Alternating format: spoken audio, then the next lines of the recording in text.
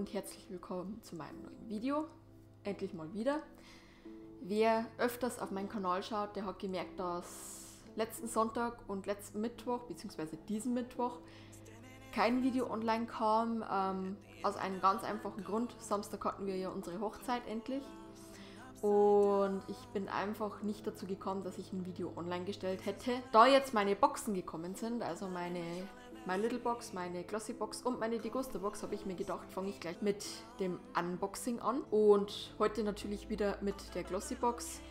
Nächste Woche dann mit der My Little Box und mit der Degusta Box. Und nächsten Mittwoch machen wir dann auch die Gewinnziehung. Heute habe ich es leider noch nicht geschafft, das alles auszuwerten, beziehungsweise das mache ich jetzt beim zweiten Video. Aber jetzt das Video nochmal neu starten ist irgendwie doof. Deswegen erfahrt ihr auf jeden Fall nächsten Mittwoch, wer diese Sleek-Palette, diese ähm, Nordic-Palette gewonnen hat. Also da auf jeden Fall einschalten. Dann würde ich sagen, fangen wir an. Die Box habe ich an sich schon ausgepackt, damit ich einfach das Papier wieder weg habe. Und die sieht diesmal so aus. Wunderschön. Diesmal in einem Grün, würde ich sagen. Dunkelgrün, so Tannengrün mäßig. Und ähm, das Glossy Box ist in weiß geschrieben, beziehungsweise das Muster ist in weiß. Und, muss ich schnell holen, was noch drin war, ist äh, diese Karte. Hier ist eben der Adventskalender drauf und ähm, die Rituals Box, die Glossy Box extra zusammenstellt und die Weihnachtsbox, die Glossy Box zusammenstellt. Und die kosten einzeln, also die Rituals Box 25 Euro, der Kalender 100 Euro und die Weihnachtsbox kostet 30 Euro. Und da hat es eben ein Angebot gegeben und zwar alle drei Sachen für 120 Euro. Und ja, ich konnte leider nicht widerstehen, da die letzten Glossy-Boxen so gut waren, habe ich mir gedacht, ich kaufe mir den Adventskalender. Letztes Jahr hatte ich ja den von Foodist und er war jetzt nicht unbedingt schlecht, aber der beste war auch nicht. Deswegen habe ich habe ich gesagt, dass ich einen neuen ausprobiere und es wird auf jeden Fall der Glossybox Kalender. Es steht drauf, also er kostet 100 Euro und soll Produkte im Gesamtwert über 300 Euro drin haben.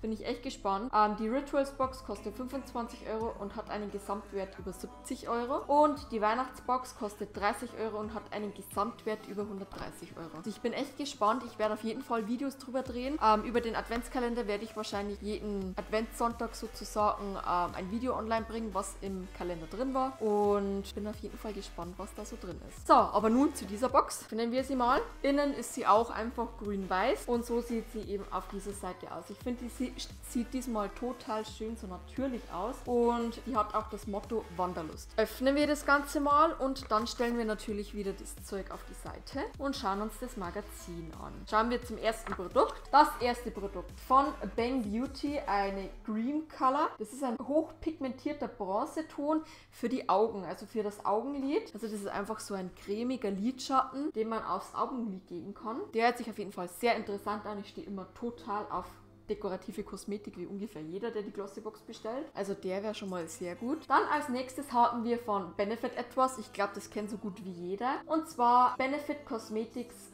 Go Go Tint. Und das ist eine brandneue Cherry Lip and Cheek Stain. Das ist ein Tint bzw. eine Tinte, die man auf Lippen und Wangen streichen kann.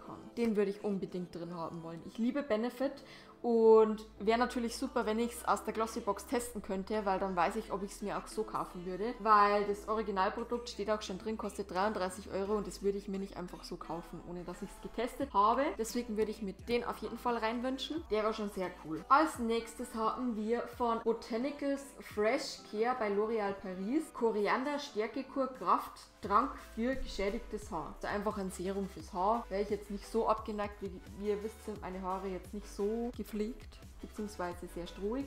Aber es geht mittlerweile eh, nachdem ich beim Friseur war. Dann ist noch drin von Botanicals Fresh Care bei L'Oreal ein Safflorblüte reiche Nährungsmaske für trockenes Haar. Würde jetzt auch gehen für meine Haare. Und dann gibt es einmal nochmal von Botanicals Fresh Care bei L'Oreal Paris Camelina Seidigkeit Ritual.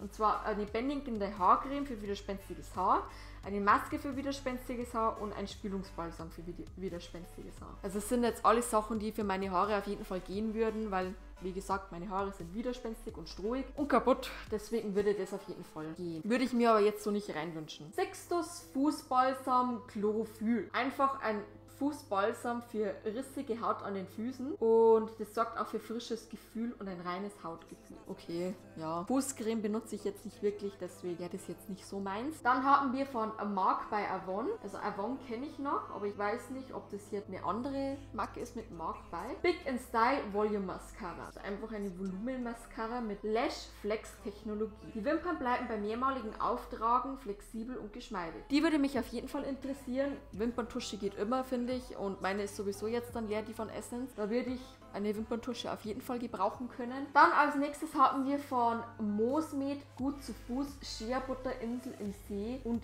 Jungbrunnen eine Seife. Einfach bloß eine Seife zum ähm, Einschäumen und Abspülen der Haut, also sowas wie Duschgel, nur halt als Seifenstückform. Würde mich auf jeden Fall auch interessieren. Seifenstücke an sich habe ich bis jetzt noch nie verwendet zum Duschen, aber es soll ja nicht so schlecht sein für die Haut, deswegen würde mich das jetzt schon freuen. Dann Überwood Aufbau Conditioner Farbschutz Conditioner. Das ist einfach ein Farbschutz Conditioner mit Walnussextrakt und Panthenol für Geschmeidigkeit und Glanz. Ja, bräuchte ich jetzt auch nicht unbedingt in der Glossy Box. Ja, bräuchte ich nicht. Hab genug Conditioner, hab genug Duschgel und so weiter. Ich meine, kann man zwar immer brauchen, aber ich würde es mir jetzt nicht reinwünschen. Dann haben wir von Nutraskin Hyaluronwasser. Genau, einfach wenn, wenn man sehr viel in der Sonne war, ist das ein Wasser mit Silberpartikeln desinfizierenden Silberpartikeln wichtig, lässt die Haut ebenmäßiger und strahlender erscheinen und baut Feuchtigkeitsdepots auf und ähm, ist gut für die elastischen Fasern des Bindegewebes. Ja, das ist ein Spray, das sprüht man sich einfach auf äh, Gesicht, Hals und Dekolleté und es soll dann einfach Feuchtigkeit spenden. Wäre ich jetzt auch nicht abgeneigt, weil Wasserspray geht bei mir immer. Dann haben wir als nächstes von Lacombe Okay, das hört sich schon mal sehr gut an. Lacombe ist super. Hypnose Volume a Porter. Oder wie man das ausspricht. Ich kann das leider nicht aussprechen. Es ist ein Mascara mit sehr dünnen Bürstchen, die für leichten Schwung sorgt. Also für einen natürlichen Augenaufschlag. Würde mich auf jeden Fall interessieren. Ich habe von Lacombe noch gar nicht. Als nächstes haben wir von Calusan Cremeschaum Vino. Das ist ein Weinschaum und das ist für ein Fußschaum. Der entspannt und erfrischt und besonders schwere, müde Füße und Beine neben roten Weinlaub zusätzlich mit wertvollen Extrakten aus der Rostkastanie pflegt. Ja, wieder Füße. Ich verwende nichts für die Füße. Meine, wenn es jetzt drin wäre, ich würde es meinem Mann geben, weil der cremt seine Füße öfters ein, aber ich meine Füße nicht. Also ich pflege meine Füße so gut wie gar nicht, außer dass ich einen Nagellack auf die Zehennägel tue und meine Nägel mache, aber sonst. Als nächstes haben wir von Kalusan natürliches Fußbad Milch. Das sage ich jetzt nicht mehr dazu. Dann haben wir von Pasa Beauty Profi Entwirrwunder Extra Glanz und Pflege. Also das ist so eine Art Tangle-Teaser. Ich habe einen Tangle-Teaser und bei meinen Haaren hat der nicht wirklich funktioniert, weil die einfach zu strohig und strapaziert sind. Deswegen funktioniert der bei mir irgendwie nicht. Ich habe den nicht sehr gerne verwendet und den benutzt jetzt mein Mann. Türkis Pink, aber er benutzt sie trotzdem. Deswegen bräuchte ich den jetzt auch nicht unbedingt. Dann haben wir die Alverde Naturkosmetik Augencreme frisch mit Bachblüten. Sage ich jetzt auch nicht mehr dazu, der hatte ich schon drin brauche ich auf jeden Fall nicht. Dann haben wir von Jean Artes das Eau de Rose wieder drin. Das hatte ich auch schon drin, sage ich jetzt auch nicht mehr dazu. Genauso wie die Invisible Bubbles äh, Nano, diese kleine Invisible Bubbles, hatte ich auch schon drin. Dann haben wir von Dalton Marine Cosmetics Extrem Lift Serum. Lifting Serum brauche ich auch nicht. Ich habe noch nicht, beziehungsweise ich habe keine Falten. Der mir bis jetzt auf jeden Fall nicht aufgefallen. Dann bei Asian Spa bei Art Deco Foaming Shower Gel. Also das gibt es in Deep Relax Sensation mit Neroli Sandelholzaroma in Sensual Balance mit Geruch von Yang, Yang und Patchouli sowie zarte Skin Purity mit Lotus Reismilcharoma. Es ist einfach ein Gel und das Gel verwandelt sich dann in einen Pflegeschaum. Dann haben wir von HK Euterpflege. Okay, das ist für rissige Stellen an Hände, Knie, Ellbogen, Füße. Okay, hört sich schon besser an. Ähm, ich habe keine rissigen Stellen, deswegen bräuchte ich das jetzt auch nicht unbedingt. Wäre aber was, was ich auf jeden Fall verwenden würde, irgendwann später. Und dann haben wir noch verschiedene Mascaras von Lacura. Deine Mascara für großartige Augenblicke. Und zwar einmal die XXL Extreme Lashes Mascara, die XXL Wimpern zaubert, die Cute Curly Lashes Mascara, die eben die Wimpern Schwung zaubert. Keine Ahnung, wie ich das sagen soll. Dann die Mega Lashes Volume Mascara, die Volumen zaubert und die Long Lashes Mascara, die eben lange Wimpern zaubert. Und ja, das sind einfach verschiedene. Ich weiß jetzt bloß nicht. Ach, die sind von Aldi Süd, also das sind billigere Mascaras. Es ist aber cool, dass die von Aldi auch mal was drin haben. Ich weiß halt nicht, ob es da alle vier Mascaras gibt oder bloß eine. Mal schauen, ob die drin ist. Würde mich auf jeden Fall trotzdem interessieren, mal von Aldi Mascaras auszuprobieren. Würde mich sehr, sehr interessieren. Aber sonst war es das in diesem Heft. Jetzt würde ich sagen, schauen wir einfach mal rein. Was ich sehr gerne haben würde, ist diese ähm, Augencreme, dieses Auge Augenlidschattencreme. Die würde mich sehr stark interessieren. Favorite Produkt ist eben dieses von Benefit. Das würde ich so gern drin haben. Ja, genau. Also ich habe jetzt einmal Lid, die Lidschattencreme, einmal das Go-Go Tint von Benefit, einmal die Wimperntusche von Mark Big bei Avon. Und was nehme ich noch? Ich wünsche mir auf jeden Fall noch so eine Seife, die würde mich sehr, sehr stark interessieren. Und es sind sehr viele dekorative Produkte drin, deswegen gibt es nicht viel auszuwählen sozusagen. Dann wünsche ich mir noch von Nutraskin dieses Hyaluronwasser. Das hört sich auch sehr interessant an. Also Wimperntusche, Augenlidcreme, dann dieses Go-Go Tint von Benefit, dann äh, dieses Hyaluronwasser, und diese Seife. Mal gucken, was drin ist. Fass wieder einfach so rein, ohne dass ich hier reingucke. Ich stelle es hier auf die Seite. Und das erste ist eine Schachtel. Oh, das fällt gleich runter. Nutraskin Hyaluron Wasser. Gucken wir mal rein. Okay, das ist jetzt ein süßes kleines Fläschchen, aber ich glaube nicht, dass das das Originalprodukt ist. Gucken wir mal. Das Originalprodukt kostet 39,95, aber das sind 30 Milliliter und das sind 10 Milliliter. Also das ist ein Drittel, kostet also ungefähr 13 Euro, kann man so sagen. So ein kleines Fläschchen kostet 13 Euro. Wahnsinn. Ich würde mal sagen, probieren wir mal aus, wie es riecht. Es riecht eigentlich sehr angenehm. Es riecht sehr mild, hat jetzt keinen besonderen Duft. Ein bisschen sollen wir es noch einklopfen. Aber es ist sehr erfrischend.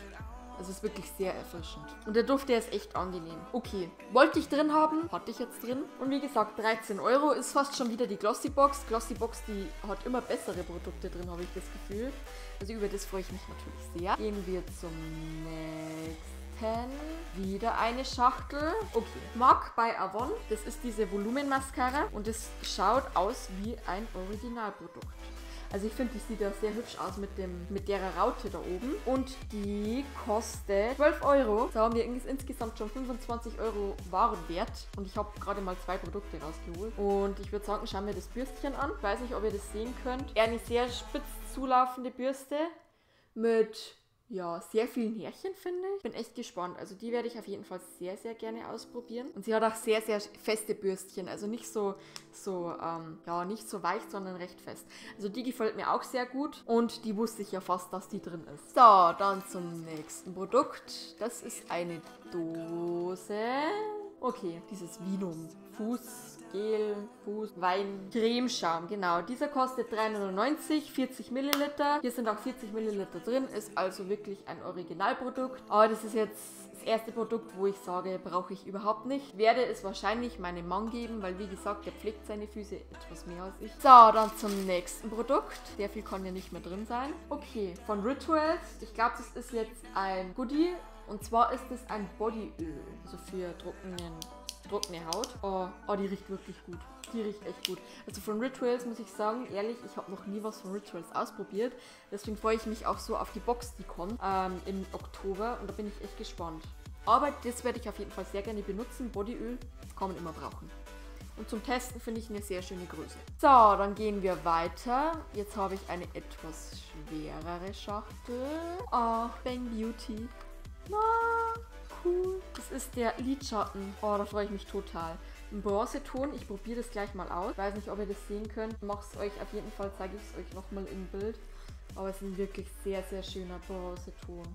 Der ist nicht zu auffällig, also nicht zu viel Bronze, aber auch nicht zu wenig. Ich finde genau richtig. Oh, da freue ich mich total drüber. Bin gespannt, wie ich mit Cremelidschatten zurechtkomme, weil bis jetzt habe ich keinen Cremelidschatten, aber da freue ich mich total drüber. Und das Produkt kostet ganze 23,35 Euro, äh, 3,5 Gramm und da sind 3,5 Gramm drin. 23 Euro. Würde ich mir jetzt so auch nicht kaufen, wenn ich das nicht kenne, das Produkt. Freue ich mich total drüber.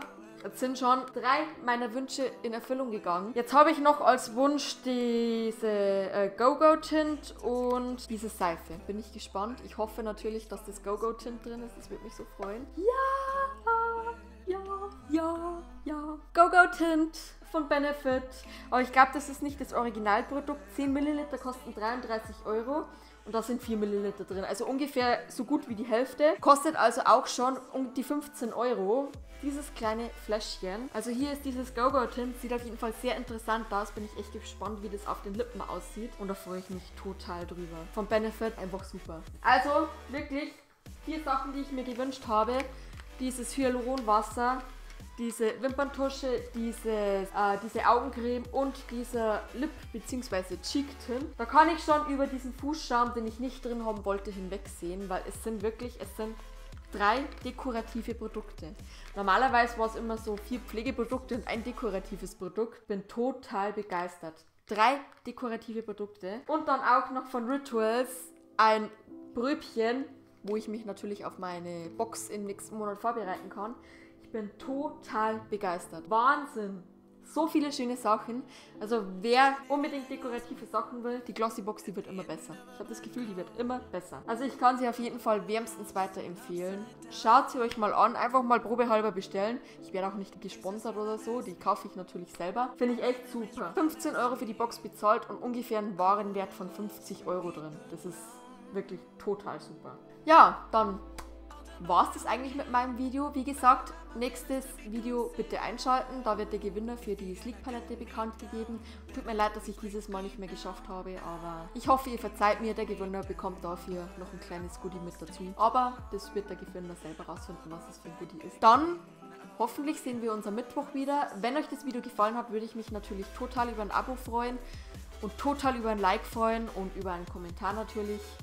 Und wenn es euch gefallen hat, vielleicht schaut ihr dann beim nächsten Video wieder rein, wenn ich die My Little Box unboxe. Dann hoffentlich bis zum nächsten Mal. Tschüss!